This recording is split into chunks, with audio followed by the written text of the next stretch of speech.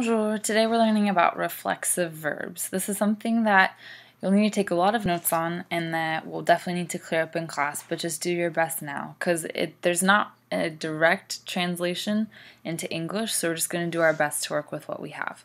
So let's start off with figuring out what is a reflexive verb. A reflexive verb describes what someone does to or for him or herself.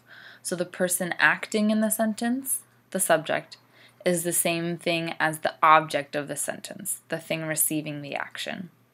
It's called a reflexive verb because it reflects the action of the verb back onto the subject. So it's like what I was saying. The subject is the same as the object in that sentence. We don't use it a lot in English, or at least not very obviously, but a few examples in English that would have these reflexive verbs are she wakes herself up. We could just say she wakes up, but the idea is that you wake yourself up. So here, she is the subject of the sentence. That's the one who's doing the waking. That's the verb. But then herself is also the object. So because she is the subject and the object, this is a reflexive verb. We also see this in the example, he brushes his teeth. So he's the one doing the brushing, but he's also the one who receives this action of the brushing. Which sounds really weird, but once we get to think of it in that term, it'll help make a little bit more sense. Also, they put themselves to sleep. They, that's our subject, they're the ones doing the action. Putting to sleep is the action. And what are they putting to sleep? They're putting themselves to sleep. So they is the subject, but they is also the object. Even though it's not the same word, it's the same group of people doing the action and receiving the action. So, how do we use these in French? Every reflexive verb has something called a reflexive pronoun. This is the key word that's going to signal that it is a reflexive verb. So this is what will show you that the action is being done to that subject and helps clarify that role in the sentence. There's a different reflexive pronoun for each of the six subjects. So depending on the subject of the sentence, you'll use a different reflexive pronoun. So if your subject of the sentence is je, the reflexive pronoun is me, it's pronounced m even though it looks like me. If you're using tu, the reflexive pronoun is te. If you're using il or elle or on, the reflexive pronoun is se. If you're using nous, the reflexive pronoun is nous, which can be a little bit confusing, so you will see the word nous twice in one sentence. Same with vous, the reflexive pronoun is vous. And then il, elle plural, the reflexive pronoun is se. So if you're doing third person singular or third person plural, so il, elle or il, elle, it's the same reflexive pronoun, se. So really you only have a couple reflexive pronouns to memorize. So what do we do with these? If you need to conjugate a reflexive verb, and we'll go over some examples in just a minute, there are three main things that you have to do.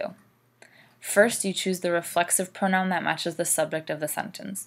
So you look and see, is the subject using je? Is it using nous? Is it using vous? Is it using tu? And then you choose the right reflexive pronoun based on that. Then the rest of the verb you conjugate like you would any other verb. So if you if you have a reflexive verb that is a regular er verb, you don't change anything about how you conjugate that. Just the same patterns that we've learned in the past. So then you just add the reflexive pronoun between the subject and the verb. So the verb you conjugate like normal. The thing that makes it a reflexive verb is just squeezing that reflexive pronoun in there. So for example, if we have the verb se brosser, which means to brush, and you know that you have to conjugate it for the subject je, following each of these steps. Step number one, we choose the reflexive pronoun that matches the subject of the sentence. Our subject here is je, so our reflexive pronoun will be me. Then we conjugate this like we would any other verb, and we can tell that this is a ER verb. It's actually an irreg it is a regular one, sorry. It is a regular ER verb. So what we're going to do is we drop the ER and put an E back, and then we add the reflexive pronoun in. So it'll look like je me brosse. So as always we start with the subject of the sentence, then we take that reflexive pronoun and put it between the subject and the verb, and we have the verb conjugated like we would for pretty much any other verb. Here are some common reflexive verbs. Reflexive verbs more often than not have to do with your routine for getting yourself ready because those are the actions that you do to yourself. So for example, we have se brosser les cheveux, to brush one's hair, se brosser les dents, brush one's teeth, se coiffer, to do one's hair, se coucher, to go to bed, se déshabiller, to undress, s'endormir, to go to sleep or to fall asleep, s'habiller, to get dressed, se laver, which is like to wash oneself, or se laver les mains, to wash one's hands. Se lever, these look similar but they're very different. Se lever is to get up or to get out of bed. Se maquiller, to put on makeup. Se raser, to shave. Se regarder, to look at oneself. Se réveiller, to wake up. And se sécher, to dry. So, big question are these verbs always reflexive? No, of course not. Nothing's that easy in French.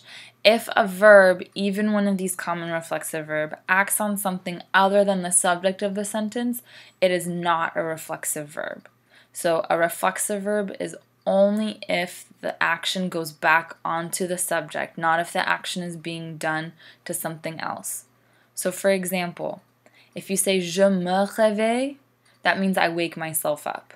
We know that this is reflexive because we have the reflexive pronoun here. In English, we would just say I wake up. We don't really emphasize this reflexive pronoun in English anymore, but what you're really saying is I wake myself up. However, you can say je réveille ma soeur. Same verb, but it's no longer reflexive. We don't put the me here because you are not waking yourself up. You are waking your sister up. So that reflexive pronoun shows that the action is going back toward the subject.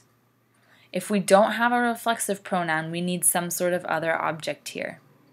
So it would be the same thing if you want to say I brush my hair, je brosse les cheveux, je me brosse les cheveux makes it reflexive. But if you want to say I brush my sister's hair, je brosse les cheveux de ma sœur. And you don't put the reflexive pronoun unless the verb is acting on the subject. Got two last rules. If the body part is the direct object of the reflexive verb, like for example, you're saying that you're washing your hair or brushing your teeth, you use the definite article instead of the possessive article. This is maybe the biggest trick that the French play on us with our reflexive verbs because it is very counterintuitive to what we do in English. In English, we would always say, I brush my teeth, or you wash your hands, the idea that the teeth belong to you or the hands belong to you.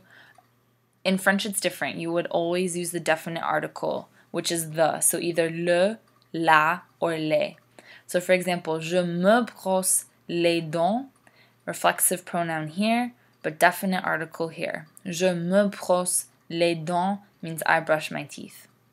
Vous vous lavez les mains, you wash your hands. It's not your, it's the, but that's what it means here because you have the reflexive pronouns that already signals that the hands belong to you, so they just put the here instead. And sentences with vous or nous in reflexive verbs will look weird because it'll be nous nous or vous vous. It sounds silly, but I mean, that's correct. So if that's how it shows up, that's good. And then our last rule if a sentence with a reflexive verb has to be negative, this is the order that the words go in. You do subject, and then ne, the reflexive pronoun, verb, and then pas. So we already know that in sentences ne and pas go around the verb. The reflexive pronoun goes with the verb. So it should be in this order. Je ne me regarde pas. So this is an important order to keep in mind for when you have a reflexive verb in a negative sentence. And that's it. That went by pretty fast, but take your notes, come up with two questions that you want to ask in class tomorrow to clarify, or if you want to think of more examples to share with your class, that will be helpful as well.